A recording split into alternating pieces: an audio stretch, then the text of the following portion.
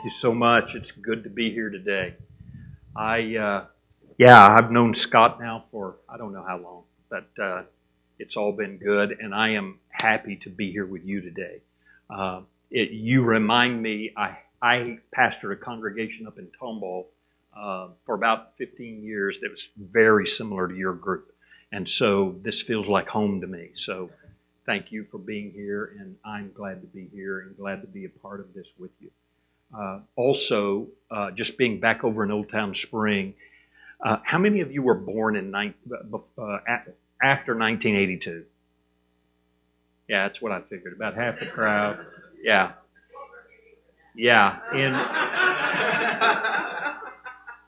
In, in 1982, uh, I was barely out of college, and I got called to become the youth pastor at Spring Baptist Church which is just up the street. Yeah. Yeah. And I was the youth pastor there for four years from 1982 to 1986. And uh, it was, uh, we had a really good ministry there, and it also was one of the hardest times uh, in my life just for a lot of reasons. Uh, I was scared to death of my pastor. I was. I was he was kind of an intimidating sort of guy, and uh, when he got angry, he kind of, uh, you know, everybody knew he was angry, and um, my dad had been kind of like that, and so man, I didn't want anything to do with him, so I kept my mouth shut, Kirby. I didn't say anything. I said yes, sir, no, sir. Did exactly what he wanted me to do because I was completely intimidated by him. And uh, and the truth is, I didn't show up fully as me. You know what I'm saying? I was scared to show up fully as me. I had some thoughts, I had some opinions, I had some ideas, but I was afraid to offer them. So after four years, uh, and and really quite unexpected, expectedly, I was uh, invited to to uh, move to 1960. Long move, and uh, there was a little church uh, that was meeting in a in a strip shopping center uh, up on 1960, and they invited me to come be their pastor. So I went from being youth pastor to being a pastor, and I'm still in my 20s. So, like, yeah, like I was so far over my head, I didn't even know it. And uh, but I started pastoring this church, and here's what I thought. I thought, okay, guess what? Now I get to be the one in charge. Now I get to tell everybody what to do. And, uh, and, I, and I swore to myself that I would never treat anybody the way my pastor had treated me, and really the way my father had treated me when I was a kid. That I, that just yeah, that I would never do that. And for the first couple of years of pastoring that church, I did that really well. I mean, I am a, I, I am at heart a nice guy, easy to get along with, easygoing, flexible, and all went really well until one Sunday morning. And uh, my roots are Baptist, and so uh, we were back in that day in the '80s. We were more traditional, and uh, um, and so we had Sunday school, and we had a guy that was over the Sunday school called our Sunday school director. And I'll never forget one Sunday. It was it was at the end of Sunday school and before the worship service was was about to start. This guy kind of backed me in the corner of the Sunday school office and started getting in my face and telling me about all the things he didn't like about what I was doing. And I don't know what happened, but it was like a switch flipped in me. Because you know what I saw? What I saw was my dad in my face shaking his finger at me. And I swore I'd never treat anybody like that, like the way my father treated me. But when that when that switch, when I got triggered, guess who showed up?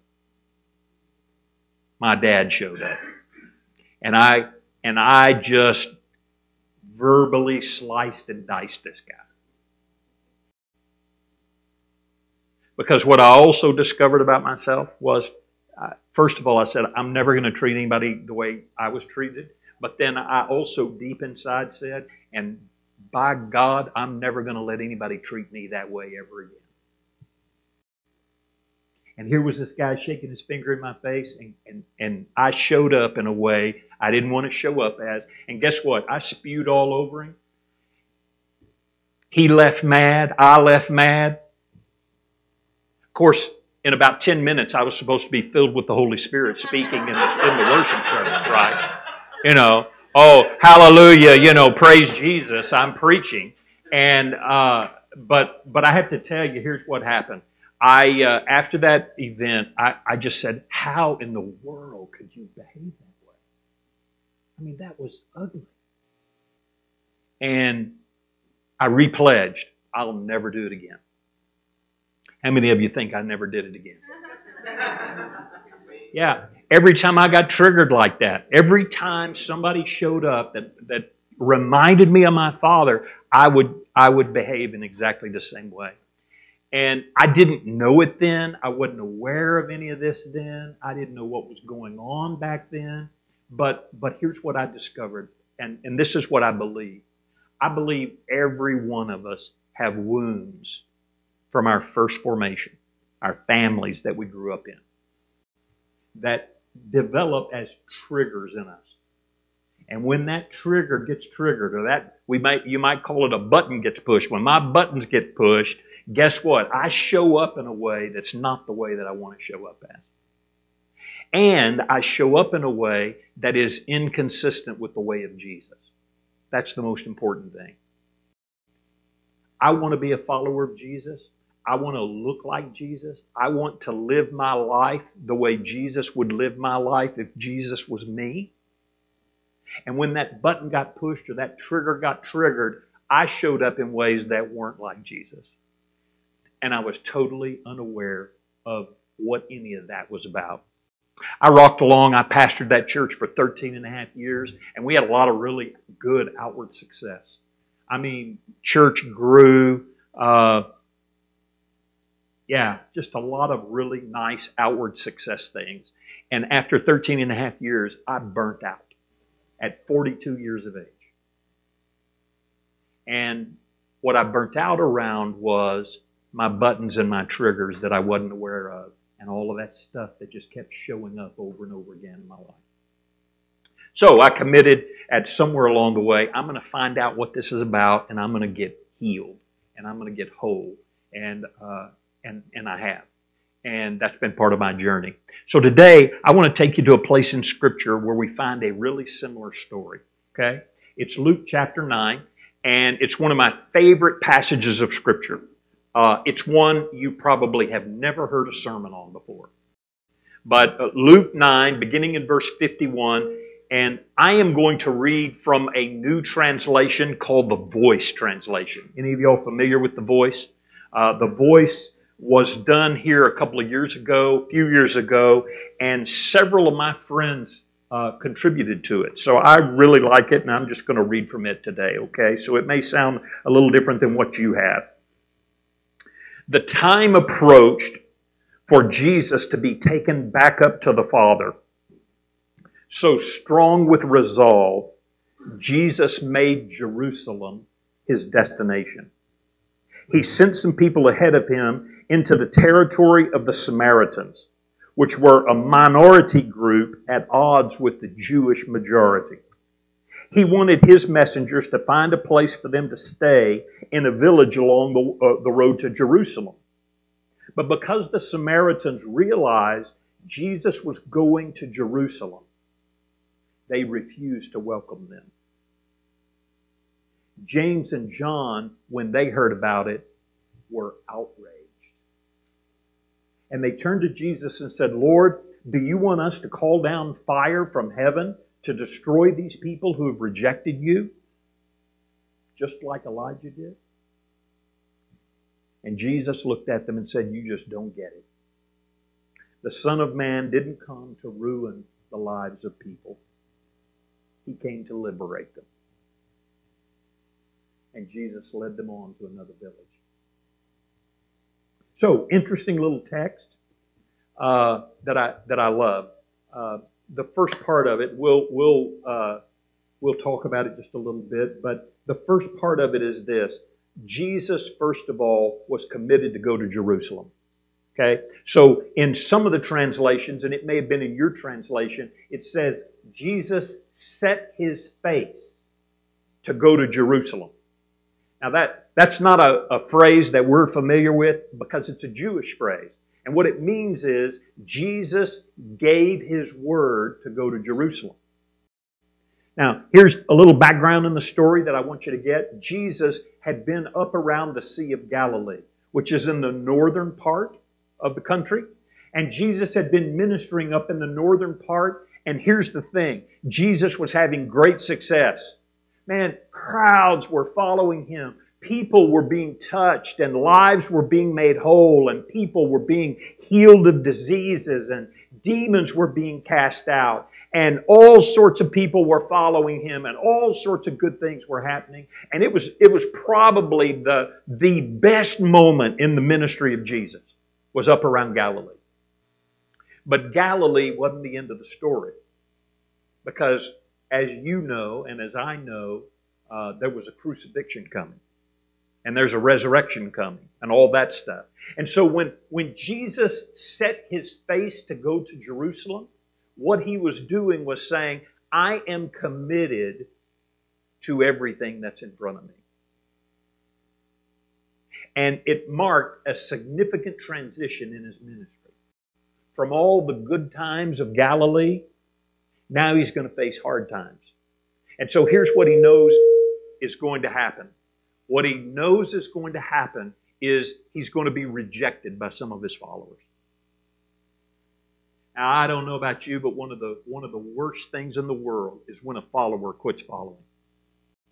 You know, I, maybe you've experienced uh, experienced it here. If somebody starts coming to your church and then one day they just don't show back up and they decided they're going to go to another church somewhere, I mean, somehow we just take that personally, don't we? Well, Jesus knew some of his followers were going to turn their back on him. Jesus knew that his own family were going to, were going to turn their back on him. Jesus knew that the religious leaders down in Jerusalem, they were going to turn their backs on him. And Jesus anticipated that he was going to be executed. And in spite of all of that, he said, I'm going to Jerusalem because that's what I'm called. One of the things that I, I, I want to just flesh out with you for a moment is this is that all of us naturally want to stay comfortable, right? Don't you want to stay comfortable? I, I, man, I, I want everything to go smooth and I want everything to be good and I want everybody to like me and I want all good things to happen. And I don't, I don't want any bad in my life. And I certainly don't want to look at the bad deep within me. You know what I'm saying? I don't want to go there. I'm afraid to go there. And what I want to invite you to notice is the example of Jesus. In spite of his fear, he set his face for Jerusalem. One of the things that I believe about being a follower of Jesus is that Jesus set the example for us to follow by being courageous. And then he invites us to be courageous. Because as followers of Jesus, this is what I believe Jesus will regularly invite us to get out of our comfort zones. He will regularly stretch us in ways we don't want to be stretched, right? I mean, he regularly will put stuff right here in our face and say, Here it is, and I don't want to see it. But Jesus is the example of facing our fears with courage. But as disciples, here's what happens. Then Jesus said, And now let me teach you how to go where I'm going to go. And so Jesus said, We're going to Jerusalem, and the way we're going to get there is through Samaria. Now, I don't know how many of you know any biblical history or any of the, the account of the animosity that existed between the Jews and the Samaritans, but it was huge and it was deep and it was hundreds of years long. I can barely get over what happened to me yesterday. right? You know what I'm saying? And and and here's hundreds of years of animosity. And here's what would happen. often the Jews up in Galilee, so Jerusalem was in the south, Galilee was in the north, and Samaria was right between the two. And so often when the Jewish people would head to Galilee or from Galilee down to Jerusalem, they would, they wouldn't even go through Samaria. They'd just avoid it. They'd just say, you know what, I'm just going to not go there. I, am so afraid of those people. I'm so, you know, and some bad things that happen along the way. That they'd go out of their way. But when Jesus decides we're going back to Jerusalem, guess what Jesus says we're going to do? We're going to go right through Samaria. In other words, what Jesus was saying is, in order for you to be healed and whole as my disciples, you're going to have to confront what you didn't want to confront. Here we go through through uh, Samaria. So, can you imagine that you and I decide we want to go to Dallas? Well, everybody in this room knows the best way to Dallas, right? Jump right out here on I 45, baby. Two and a half hours. Boom. For you, it's probably two hours, right? Yeah, it's what I figured. Yeah.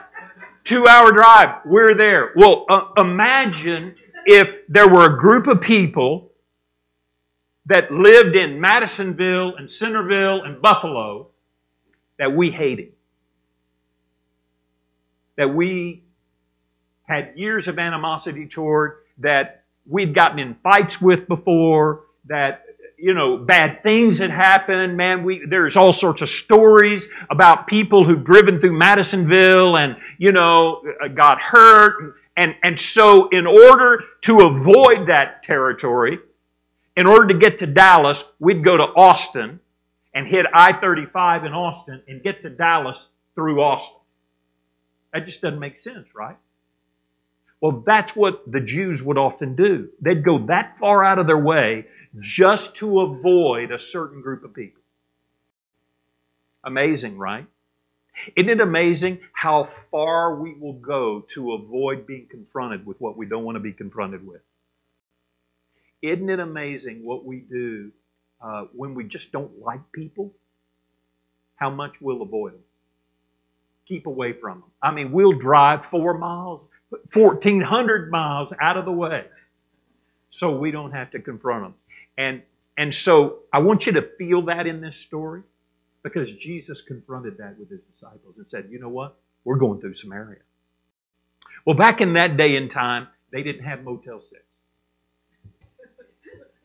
to keep the light on for you, right? And, and so when, when people traveled and recognized when Jesus, he had an entourage now, I don't know how many, but at least 30, 35 people were traveling with him, maybe even more than that and recognize they walked. I mean, I can't even imagine that. Can you? I mean, so we're going to Dallas and we're walking. no, I think I'll just stay. Well, so so they head out towards Samaria, and uh, and and one of the things that Jesus does, the first thing he does is to say, okay, we're not going to get to Jerusalem overnight. And so we need to send a couple of disciples out in front of us, and they will arrange lodging for us. And here's what the lodging was the lodging was the hospitality of the people in the town that they went through. That was the culture of their day. Okay, so, so people just welcomed strangers into their home who were, who were travelers. That's just the way it was done. And so Jesus said, well, that's just the way it's done. And, and I want you, you couple of guys, looks like, you know, we'll be up here in Conroe by tonight. And so I want you to go up to Conroe and I want you to see if there's some people up in Conroe who'll open their house to us. It's the normal thing to do. Well, these disciples go up there and, and they knock on a few doors. And what they hear is that Jesus is going to Jerusalem. Now, the significance of that is religious. Okay, so there was one of the arguments and one of the big differences between the Samaritans and the Jews was where's the proper place to worship and what's the proper way to worship. And Jerusalem symbolized the, the proper way for the Jews. And so when they heard Jesus was going to Jerusalem, all of their own religious prejudice came up. And they said, No way, you ain't staying here. Uh-uh. Now, they had every right to do that. It's their house. They can say no, right? So they say no, and the disciples come back to Jesus and the other group, the other 35, 50, however many it is. And they say to Jesus, we, you know, we went to Conroe and we couldn't, we couldn't find anybody in Conroe that welcomed us. And for whatever reason, I, I won't use the word I normally use, but that really upset James and John. You know what it did? Yeah, it upset them.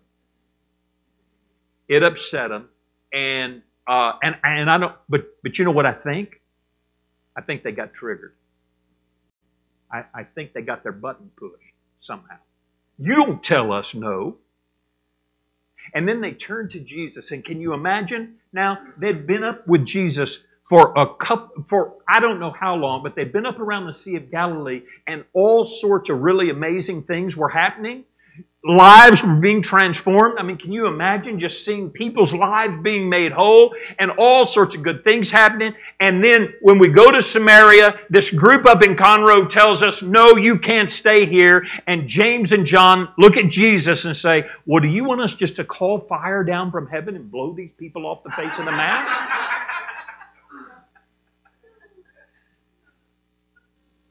I mean, first of all, come on, James and John. How in the world do you think you're going to call fire down from heaven? Right? I mean, they hadn't done anything. But now they're going to call fire down from heaven. I, I don't, you know, I don't know where they get off with that. But somehow, it, now, here's what I'm certain of. I'm certain none of you have ever wished God would just zap somebody dead, take them off the face of the earth. Right? Nobody in here's ever done that. Right? Never. Uh-uh. Exactly. Never. Right. Yeah, you you know, it, it's amazing at how anti-Christ we can we can get when we get triggered, right? I mean, because Jesus is about life and love and and peace and joy and all of those good things in life. But buddy, when we get mad at somebody, yeah, I just assume God, you just throw a lightning bolt down. I know you can throw one down. Now, here's the interesting things about James and John. Some of y'all may know this uh, from your Bible studies, but James and John are known, were known, they had a nickname. They were known as the sons of thunder. The sons of thunder. Okay, so they're the sons of thunder. That meant their daddy's name was Thunder. That was his nickname. They might have had the same dad I did. I don't know, right? Any of y'all can recognize or uh, uh, appreciate uh, a dad who's called Thunder? Yeah, my dad thundered on me from time to time. It, it's no wonder they wanted to throw lightning bolts. You know? Uh, so here, here's the thing I, I want you to see in this text is I believe James and John reacted the way they reacted because they had buttons and triggers that, that started back with their dad at home. See, I don't think it was really about the Samaritans at all. The Samaritans were just the people that showed up that day, that got in the way, that triggered what was deep within James and John. And what was deep within James and John was, was something that needed to be healed, and they, weren't, they didn't even know what it was. And so Jesus just simply turns to them and says, You guys don't get it. That's not who I am. It's not what I'm about. I'm not about destroying people's lives. I'm about liberating people from the things that have them in bondage. I'm about life. Folks, here's my point today. My point today is this. I believe every one of us have wounds from our past that we that, that are still going on in our life. And, and what happens is periodically we get triggered and, and an ugly version of us shows up. A version of us that doesn't look anything like Jesus shows up. And what we need to do I believe, is have the courage to be able to confront whatever that is and get healing from it. Because I believe that's what Jesus came to do. And what I'd love to do is be able to say, and all you need to do is pray, and God will deliver you from that. But that doesn't seem the way God works. What seems to be the way God works is God says, I'll help you uncover it, but you've got to have the courage to face it. I have a good friend that uses this metaphor for what I'm talking about. She talks about uh, having a sore in our arm where we get a little shard of, of glass in our arm. You ever got a little glass or maybe a splinter in your arm? And, and you get it, and, and, and when it goes in, man, it, it hurts and, and it gets a little infection, and you don't really do anything about it. Maybe put a little band aid over it. You just leave it, no big problem, doesn't really hurt that much, and you just start living with it and it kind of scabs over, and then maybe the maybe even one day the, the skin grows over it. But that little piece of glass is still there. And then along life's journey, you're at the mall one day, or you're out here shopping one day, or you're somewhere, maybe you're at home with your spouse or, or with the person you're dating or that you love, and, and you bump into them with your shoulder. And all of a sudden that shard of glass cuts again. And what do you do? and who do you get mad at? You get, you get mad at the person you bumped into, don't you? And you say, well, what in the world are you bumping into me for? When the reality is it's not the person that bumps into you that has the problem, it's you that's got the problem. And so here's my point. We are responsible. Not we're not the cause of our wounding, but we're, we're responsible to get healing from our wounding. Nobody else can do that for us. And what we tend to do is spend all of our lives pointing a finger and blaming, oh, it's my wife, or it's my husband, or it's my boyfriend or girlfriend, it's my parents, it's my teacher. Granted, they may have done some things that weren't the best. But the truth is, as adults, we're responsible for what goes on in us now and we're responsible for that healing. So Scott told you uh, I'm I'm the executive director of a ministry called Faithwalking. And in Faithwalking, what we do is we help people find healing around those wounds. Uh, that's exactly what we do. We're not the only group that can do that. Uh, maybe you can find it in a counselor. Maybe you can find it in a support group somewhere. But here's what I believe, folks, deeply. What I believe deeply is that, that the church in America is in trouble. And we're in trouble because our testimony is not very good. Because we appear angry and we appear hateful and we appear like we just want to blow some people off the face of the earth. That's the way we appear. And I believe what God is saying to us is that's not my way. My way is the way of love. And the only way you can find that love is when you get rid of those wounds that keep you triggered. So I want to invite you to find a way to get rid of those wounds. Because here's what I believe I believe there is great hope in Jesus. Wherever you're hopeless. See, I was hopeless and thinking I'll never change. But you know something? I have changed. And, I, and I'm continuing to change. It's an ongoing journey because God's at work in my life. I appreciate you having me today and I appreciate you listening. Let's pray together, would you?